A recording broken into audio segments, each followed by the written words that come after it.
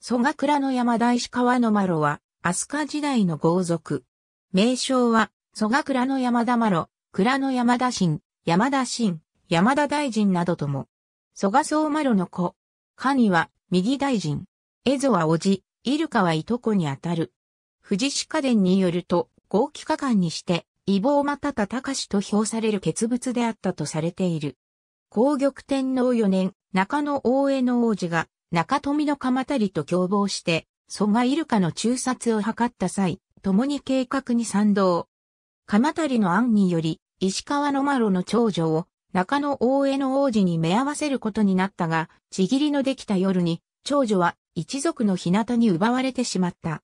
石川の麻呂は憂い恐縮し、なすすべを知らなかったが、父の苦境を知った妹が代わりに、中野大江野の日となることで解決したという。イルカの暗殺の合図となる朝鮮史の上表文を対極伝で読み上げた。その時、暗殺がなかなか実行されなかったため、文を読み上げながら震えて、冷や汗をかいたと言われる。そのことを不審に思ったイルカになぜ震えていると問われたが、石川のマロは、帝の御前だからですと答えた。イルカ暗殺後、脱出した個人体系巫女が述べた肝心、蔵造りを殺しつの肝心とは、朝鮮史を暗殺者たちと誤認したものと思われるが、先祖にその名を持つ蘇我倉の山田石川の丸を指すという説もある。その後、海進政府において、右大臣に任命される。大化5年、異母帝の日向に、石川の麻呂が謀反を起こそうとしていると密告され、皇徳天皇により派遣された、穂積杭が兵を率いて山田寺を包囲したため、長男の京白祭司8人と共に山田寺で自害した。なお、この事件は中野大江の王子と中富の鎌足の陰謀であったとされている。